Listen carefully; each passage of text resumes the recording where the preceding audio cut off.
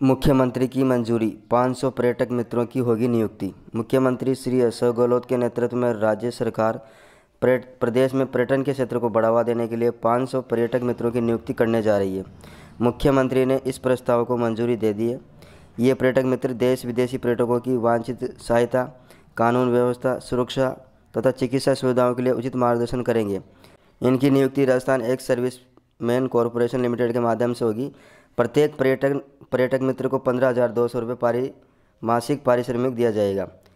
यानी कि मंथली आपको पेमेंट पंद्रह हज़ार दो सौ रुपये दिया जाएगा। इससे लगभग तेरह करोड़ रुपए से अधिक का वार्षिक वित्तीय भार आएगा राजस्थान गवर्नमेंट पर।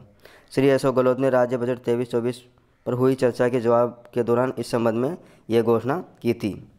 तो कुछ समय बाद में ये वैकेंसी ज़रूर आने वाली है। ध्यान रहे। दोस्तों, जानकारी आपको कैसी लगी? यदि जानकारी अच्छी लगी तो वीडियो को लाइक और शेयर ज़रूर करें।